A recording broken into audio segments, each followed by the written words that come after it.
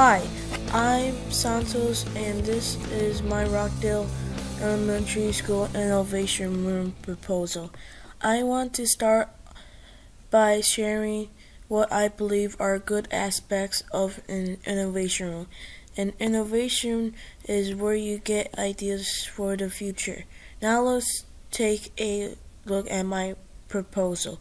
My proposal is for the room next to the science room, which has total 810 square feet and room dimensions of 30 by 27. It has five windows and one door. Now let's take a look at the furniture and seating areas. As you can see, my room has beanbag chairs because if you need somewhere to relax and think ideas, the beanbag chairs are for you. Another important aspect of my design is the technology in the room. I have included a smart board because technology is getting stronger and we need more advanced stuff. Finally, I added a few other important or interesting things.